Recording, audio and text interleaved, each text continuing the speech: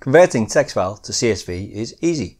You can see we have our Simpsons text file and strings or values are separated by a space. To convert this to CSV, open Microsoft Excel. From the menu, select Data. From Get External Data, choose From Text. Choose your text file, click Import, select the delimited radio button and choose Next. We know our values are separated by space. Deselect the other delimiters and choose space only. You can see how that looks in our data preview window. Click Finish. Choose the first cell for your imported data and click OK. Choose File, Save As. From the Save As type drop-down list, choose CSV extension. Give your file a name and click Save. If you want to import values that are separated by commas, as our Super Mario text file, select Data from the menu, choose From Text from Get External Data, choose your text file and click Import. Ensure Delimited is selected and click Next. Deselect the delimiters and just choose comma, click Finish.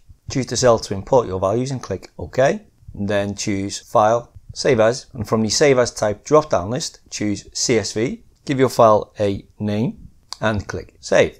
And you have converted your text files to CSV. Subscribe for more computer tips and hacks. Thanks for watching. Bye bye.